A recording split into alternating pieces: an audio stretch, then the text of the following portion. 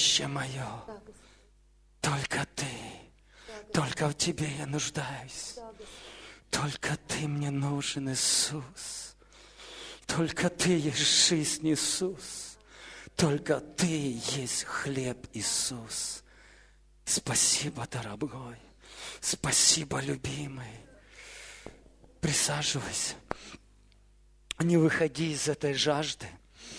Не выходи, потому что ты можешь желать все в своей жизни, но если ты одного самого ценного не возжелаешь, все напрасно. Напрасно. Твой фокус должен быть только на Иисусе, только на Нем. Я понимаю, в твоей жизни много есть разных сложностей, проблем там денег не хватает, сахара не хватает, еще чего-то не хватает. И первое дело, о чем ты просишь Иисуса, помоги мне, мне нужно еще как-то продержаться на этой земле, и Он это знает. И прежде нежели, знаешь, вот я только что вспомнил, Иисус сказал такое слово, прежде нежели ты попросишь о чем-то Отца Небесного, Он уже знает. Он уже знает. Еще нет нужды на языке твоем. Он уже знает твою нужду. Но знаешь, прежде всего, э, он, он хочет, чтобы ты э, искал общение с ним, искал его, искал, искал только его. Знаешь почему? Потому что только он дает жизнь. Мы привыкаем, знаете, мы привыкаем слышать свидетельство, что Бог дает. Это классно, это свидетельство. Был слеп, теперь вижу, пропадал и нашелся. Знаете, что это? Это то, что Бог дал. Да и аминь. И мы свидетельствуем, мы будем больше свидетельствовать. Но есть глубина, и я хочу сегодня говорить об этой глубине. Я хочу сегодня сказать, есть больше. То, то что ты ищешь, это, это хорошо хорошо, но есть э, сама цель, это его, это он, это, это он, понимаешь? Это он, это Иисус. Он есть цель того, что ты ищешь. Он есть цель, кого ты ищешь. Он есть цель, понимаешь? И он один. Да, они там в трех ипостасях троицы, да, но твой фокус Иисус. Он тебя спас, Он тебя оправдал, Он обнищал на кресте ради того, чтобы дать тебе жизнь. Ты понимаешь? Твой фокус Иисус. Я вот иногда так палец показываю, знаете, я вот смотрю на вас, и этот палец двоится. Реально, поставь свой палец вот так, попробуй. Хороший эксперимент, я только что его заметил. Смотри на меня, твой палец двоится. Вот когда ты смотришь не на, не на то, что одно, а куда-то дальше, у тебя раздваивается фокус. Ты должен смотреть на Иисуса. Смотри на Иисуса, а все пусть двоится. Пусть умножается! Слово пусть умножается. Как классно быть в портале Бога. Откровения приходят на лету. Пусть все умножается в твоей жизни, но тогда, когда ты смотришь на Иисуса. Знаете, э, он, он, он был тот, кто умножал, но он был фокусом. Он был фокус, на нем был фокус. Он был единственный, кто привлекал к себе внимание. За кем шли толпы, и они искали Иисуса. И знаете, один случай, когда он накормил пять тысяч голодных, это только мужчин, вот, и, и они потом искали, искали его. Я хочу сейчас прочитать кое-что. Может, ты это видел, а может, еще не видел. Поэтому, если у тебя есть Библия, открывай, но она у тебя должна быть всегда не в, в письменном виде, но в электронном, она у тебя должна быть всегда. Это тот фокус, э, это его слово. Итак, смотрите, шестая глава э, Евангелия от Иоанна. Шестая глава с 24 стиха. Увидел, что ни Иисуса, ни его учеников там нет – они сели в лодки и отправились в Капернаум в поисках Иисуса. Это очень важно. Важно однажды увидеть, что его нету. Знаете, важно его не терять. Важно его не терять из виду, чтобы потом не искать его чтобы потом не прилагать усилия. Знаете как? За Иисусом следовали ученики. Было, дво, было там трое таких самых искренних, было 12, было 70, было еще больше людей. И знаете, кто-то кто-то перестал видеть не только Иисуса, но и толпу. Настолько они удалились, понимаете? настолько отдалились от самого фокуса. Центр всего это Иисус. За ним следовали. И вот, вот эти люди, они уже перестали видеть не только одного человека далеко, они уже перестали видеть всю толпу, которая ходит за Иисусом. Они потерялись. Теперь смотри, когда они нашли Его, это очень важно найти того, кого ты ищешь. Когда они нашли его на другом берегу озера, то спросили его, «Учитель, когда ты сюда пришел?» В ответ Иисус сказал им, «Истинно говорю, не потому вы меня ищете, что увидели чудесные знамения, а потому что съели хлеб и насытились». Съели, расслабились, съели, насытились а потом расслабились. Расслабились и заснули, наверное. На поляне зеленой, где много было хлеба и много было рыбы, они расслабились, они потеряли из вида Иисуса. И вот когда они проголодали, знаете, голод не тетка. Эти батоны, это рыба в желудке, ну, на два часа максимум, ну, на три часа. Если много рыбы, мясо, ну, рыба дольше переваривается, наверное. Через три часа они опомнились. Толкают друг друга. Где хлеб? Что-то осталось? Да ты знаешь, ученики, которые собрали еще, сколько там собрали? 12 коробов, унесли. Куда унесли? ну туда, наверное. Не-не, стоп, туда, наверное, унесли. И они, они уже думают о хлебе, которым они напитались. Они уже помнят то, что они набили свой желудок, удовлетворили свою физическую нужду, материальную, земную, удовлетворили. И они ищут, где этот хлеб, который остался про запас – и они приходят к Иисусу. Иисус их видит насквозь. Да, Он видит их желудки пустые. Он понимает. Вы, ребята, пришли, потому что вы ели хлеб – вы насытились хлебом.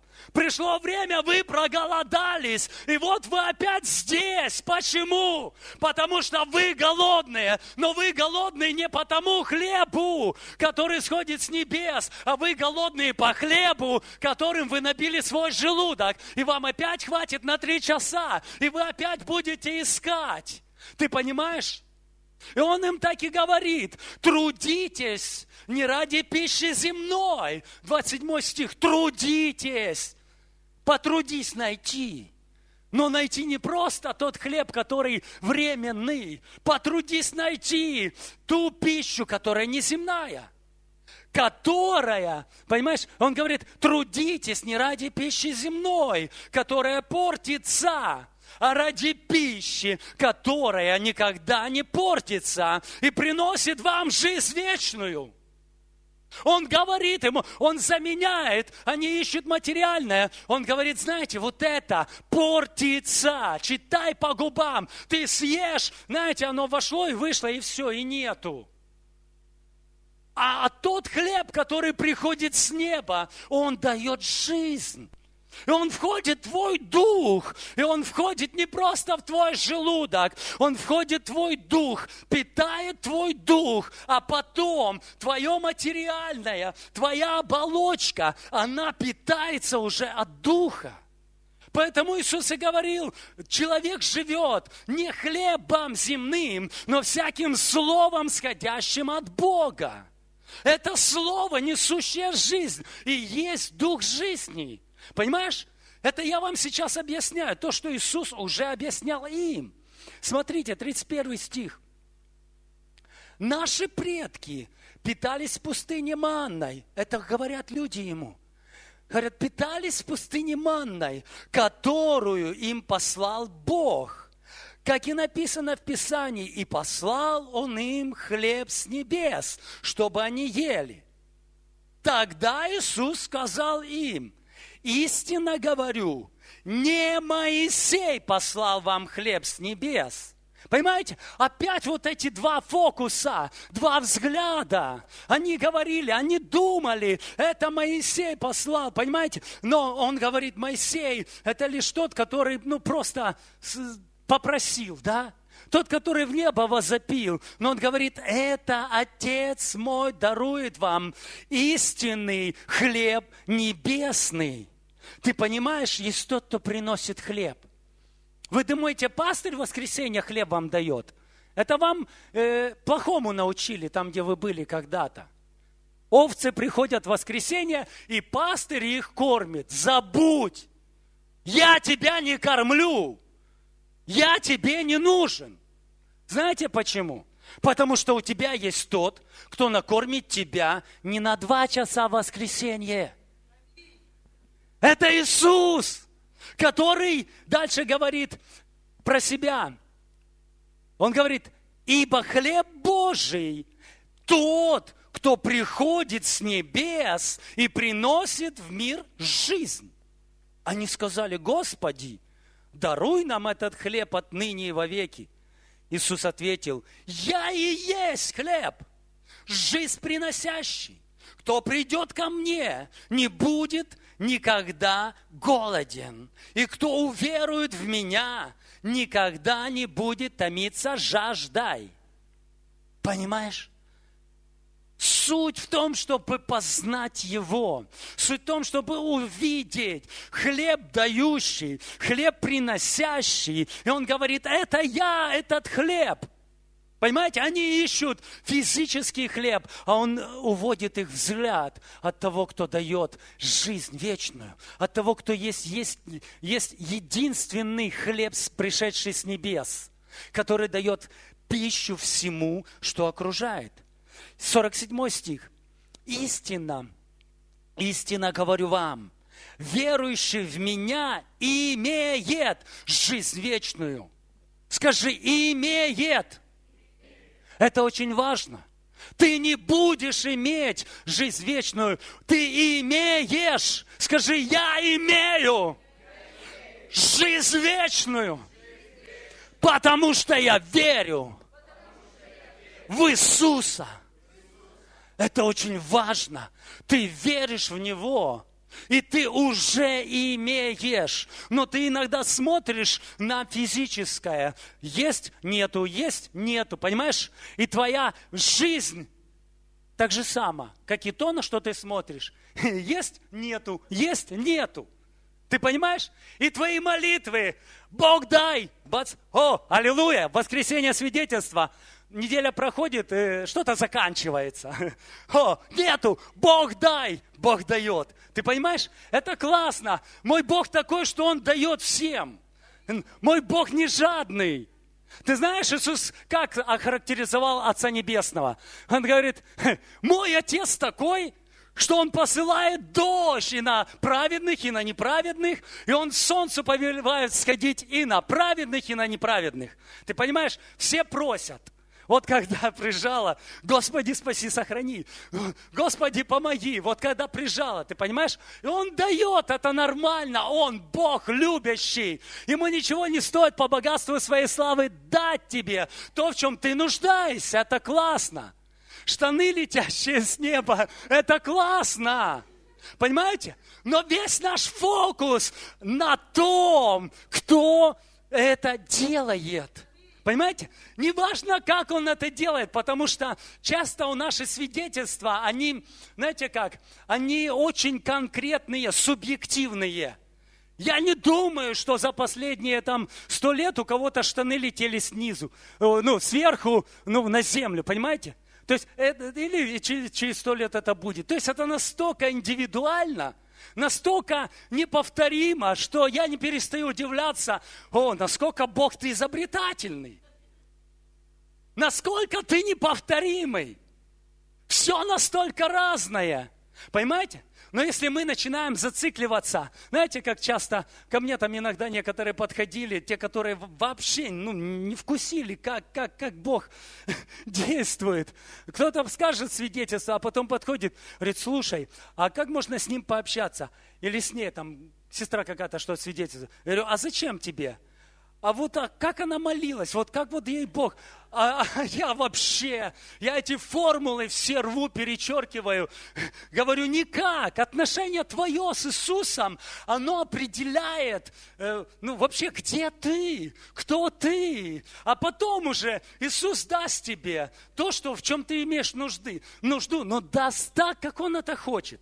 Знаете, Он благословляет церковь дарами и дает каждому особо, как ему угодно. Знаете, есть то, как мы хотим, как мне угодно. Я мое для меня, вот как мне угодно, Бог яви. А Бог смотрит и говорит, не, вот здесь ты не прав. Ты иди ко мне, люби меня, будь со мной, будь в моих руках. Знаете, как он сказал Марфе? Говорит, Марфа, Марфа, ты суетишься о многом, а одно только нужно – Одного только нужно быть со мной, общаться со мной, потому что пока это время есть, что я здесь сижу у вас в гостях, найди минуточку, посиди со мной, поговори со мной. Поэтому не суетись, будь с Иисусом, а Он уже обеспечит тебя. Понимаешь? Вот, вот этот фокус. Искать э, не того, что Он дает, а искать Его найти его и не отпускать его, даже тогда, когда он тебе дал, и ты наелся, и ты съел, и уже забыл, и, и, и ты ищешь, о, а где же он? Вот не допускай себя до этого момента, как допустили эти люди, не допускай. Потом придется приложить усилие, чтобы опять найти, опять войти в это присутствие, опять держать этот праведность, мир и радость внутри и не отпускать. Пойми, и он говорит, дальше 63 стих, «Дух животворит, плоть не пользует немало». Ох уж этот синод.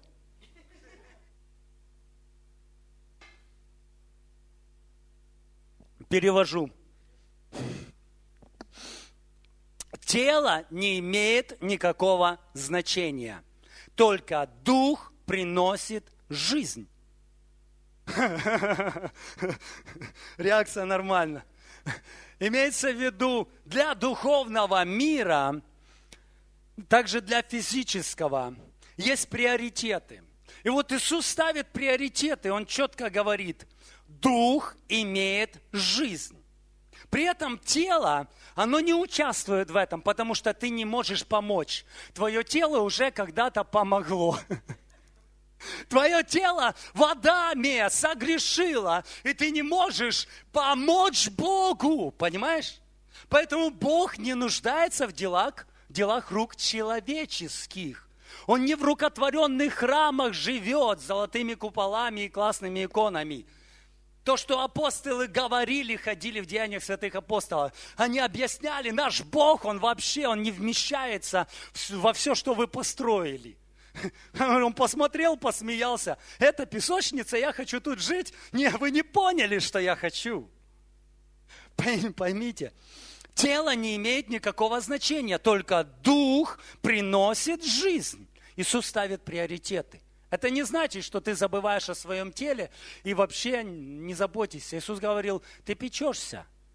Тело э, не важнее души, да, так же сама одежда не важнее тела. Есть определенные приоритеты. Но здесь уже э, Иисус копает глубже, глубже тела, пойми. И он говорит, глубже тела – это дух, который приносит жизнь. Куда он приносит жизнь? Конечно, твоему телу. Конечно. Если там сказано, что тот же самый Дух Святой, который воскресил Иисуса Христа из мертвых, он, тот же самый Дух, дарует жизнь вашим телам. Да? Так написано в современном переводе. Другие переводы тоже об этом говорят. И вот смотри, слова, которые я обращал к вам, Дух, и они приносят жизнь. Но есть среди вас неверующие. 64 стих. О хорошем, о хорошем, о хорошем. И потом, но есть среди вас неверующие. И он говорил дальше там об Иуде, который предаст, знаете, но самое важное то, что все слушают, все видят, Одни понимают, что слова духовные, что слово его суть дух и жизнь, а другие слушают, но не верят. Вот поэтому он говорит, но есть среди вас неверующие. Поэтому будь верующим, а не неверующим. Будь верующим в то слово, которое он тебе говорит. Будь верующим в то слово, которое высвободил Бог. Потому что здесь важный момент. Тело не имеет никакого значения. Для духовной, для, для того, чтобы что-то Бог делал, во-первых, должен быть дух. Когда-то галаты, они пытались э, себя, знаете, как под, под, ну, усовершенствовать, включить тело, включить служение Богу телом, как, как это было в Ветхом Завете. И когда Павел говорил Галатам, вы, оправдывающиеся законом, остались без Христа отпали от благодати. Галатам 5.4. Вы, оправдывающие себя законом, остались без Христа. Как только ты включаешь служение Богу с, или как-то помощь Богу, физические вещи, уповая на себя, я выучу, я смогу, я умею молиться, я умею вот это делать. Как только ты включаешь физические вещи, Иисус смотрит на тебя и говорит, ты не понимаешь, насколько важно духовное, которое первостепенно. Насколько важен дух, который дает жизнь. И вот Галаты, они пытались э, что-то сделать, и он говорит, Павел говорит, вы, оправдывающие себя законом, остались без Христа. Вы отпали от благодати, а мы духом ожидаем и надеемся праведности от веры. Ибо во Христе Иисусе не имеет силы ни обрезания, ни необрезания, но вера, действующая любовью. Очень важный аспект – вера, которая действует. Это тоже духовная субстанция. Это тоже, знаете, вера, она, она, она, она действует, она выражается. Но если ты фокус делаешь на дела, тогда вера, она, она уже не вера. Вначале вера, уверенность в невидимом, то есть это не видно. Понимаете, точно так же, как Иисус говорил про хлеб, то, что вы видите, ищете, но начните смотреть на то, что вы не видите. Но я вам говорю, оно есть. Он говорит, это я, которого вы должны искать. Я хлеб с неба, который пришел, и вы научитесь видеть сквозь вот это, которое вас окружает, смотреть на невидимое. Понимаете? Вера, действующая любовью. И что мы ищем? Знаете, Иисус интересный такой момент сказал, где ваше сокровище, там и сердце ваше. Это определение. Просто определение. Как определить, где твое сердце? Там, где твое сокровище. Как определить сокровище? По ценности. По ценности. Почему доллар стал дороже это не доллар стал дороже, это гривна обесценилась. Эмиссия и так далее. Экономика. Гривна обесценилась в 3-4 раза. А то, что стояло стабильно, оно оказалось для вас дороже. Вот и все. Смотря с какой стороны посмотреть. Смотря с какой стороны посмотреть. Ты понимаешь? И вот здесь вот определяется сокровище – и по сокровищу в твоем сердце можно определить, где ты будешь. Можно определить, кто ты, потому что твоя ценность – это сокровище. И ты это сокровище носишь внутри, и ты сам прилепляешься к этому сокровищу. Да, что твое сокровище? Что твое сокровище? Если твое сокровище Иисус, то неважно, каким образом Он тебе дает и что к тебе приходит. Он приказал ангелам там от четырех ветров, они принесут, они, они им вообще расстояние, стены, э, не проблема, все, все, проблема вот здесь у нас, заборы вот здесь у нас, потому что мы ищем хлеб, который не тот насущий, сшедший с небес, а мы просим часто по молитве «Отче наш» хлеб насущный на сей день. И все. И ты зациклился этой молитвой всю жизнь. И он тебе дал сегодня, а вчера ты не помолился. И нету хлеба. Понимаешь? И тебе нужен тот хлеб, который не прекращается, который не может закончиться. Тот, который всегда источник. Тебе нужен источник – а не просто ведро. Поэтому мы здесь с вами учим о том, чтобы найти источник жизни, найти источник, знаете, где постоянно вода свежая, а не так, о, у тебя нужда, на, брат, попей, я тебе жертвую от всего сердца стакан воды. Спасибо, закончилась вода, и опять нужда, и опять нужен хлеб насущный – знаете, как, он, э, как Иисус сказал женщине самаритянке? То, что вы здесь пьете, это хорошо.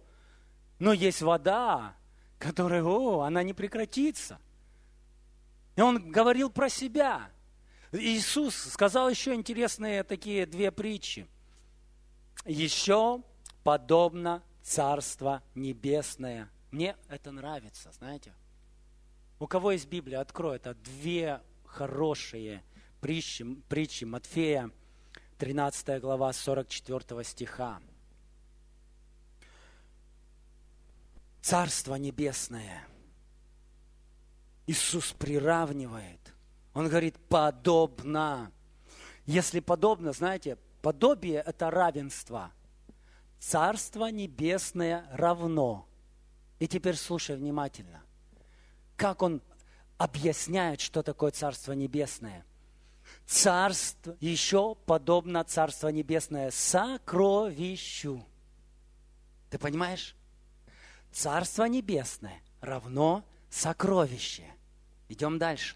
Скрытому на поле, то есть ты его не видишь, которое, найдя, человек утаил и от радости о нем идет и продает все, что он имеет, и покупает поле то. Ты понимаешь? Вот он увидел, что есть на поле сокровище. Никто его не видел. Но он увидел, увидел это сокровище, смотрит. Все, я пойду. Ч, да, никому ни слова. Он идет все, что у него есть, продает. Дачку, машинку, стиралку, неважно. Есть то, ради чего он готов сделать это действие. Ты понимаешь, насколько это важно? Это духовные вещи.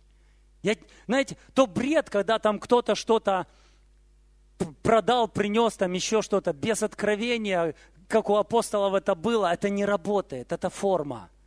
Люди оно продавали, в кредиты залезли, до сих пор э, вешаются там сложности такие. Есть духовные вещи. Иисус говорил о духовных вещах. Потому что Царство Божье – это не пища и питье, дорогой. Это не материальные вещи. Царство Божье – это праведность, мир и радость во Святом Духе. То есть это что-то духовное, суть дух и жизнь. И вот смотри, как только ты находишь жизнь, ты видишь и ты понимаешь, если я сейчас, э, э ну, скажу громко, если я сейчас что-то начну делать, я не смогу, понимаете, не смогу приобрести. Для тебя это настолько важно, настолько ценно, что ты готов отказаться от всего того, что у тебя было до этого, потому что то, что ты нашел, оно намного больше. Потому что то нашел, оно равно Царство Божье. И Царство Божье подобно сокровищу. Понимаешь, как ты между двумя этими знаками э, числа не меняй, равно есть равно. Ты понимаешь, это то, что тебя влечет. То, что тебя влечет, это царство Его. Это Он, это Иисус. Он есть сокровище, ради которого ты сделал определенные шаги в своей жизни. Ты понимаешь, как Павел говорит, я бегу, я стремлюсь, я кто, как тот атлет, я забываю о всем том, что делают другие, но ради познания, ради того, чтобы быть с Иисусом, я готов на все. Понимаешь, это та жажда, которая тебя заставляет идти и отпускать в своей жизни то, что тебя удерживало ради одной ценного, одного ценного сокровища. Ты понимаешь? Это значит, ты хочешь. Ты понимаешь? Ты хочешь, ты жаждешь, ты идешь и что-то делаешь. И следующий стих. Еще подобно Царство Небесное – но уже купцу. Купец – это богатый человек, который скупает все. Смотри, Царство Божье подобно купцу, ищущему хороших жемчужин, который, найдя одну драгоценную жемчужинку, пошел и продал все, что имел, и купил ее. И это ты. Ты это жемчужина. Потому что Бог, он, он богатый Бог, Он благой Бог. Потому что Бог, он, он здесь Царство Божье, Царство Небесное подобно. И здесь приравнивается купцу, тому человеку, который имеет все. Иисус имел все на небе. И Он спустился здесь, и Он обнищал на кресте ради тебя. Ты понимаешь? И вот, вот это вот то, что мы часто думали, мы ищем жемчужину Иисуса, это ты жемчужина. А Иисус смотрит на тебя и говорит, нет, это ты жемчужина. Потому что ради тебя одного я бы пришел на эту землю. Ради тебя одного я готов был оставить все, оставить все, продать все. А купцы это не бедные люди, не бедные. Но если все его имение нужно было продать, чтобы купить хотя бы одну, это о чем-то значит. Это значит сокровище очень большое. Это значит, ты сокровище, которое очень дорогое. Если вся вот это действие, сделанное 2000 лет назад, оно было для тебя, значит, это важно.